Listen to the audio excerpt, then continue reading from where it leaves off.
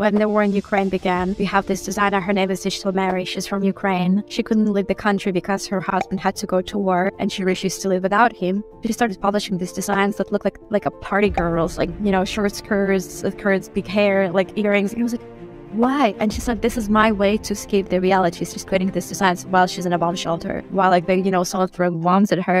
So uh, for designers, that's like one of the stories how they can find an outlet and express themselves, which won't be possible in any other way.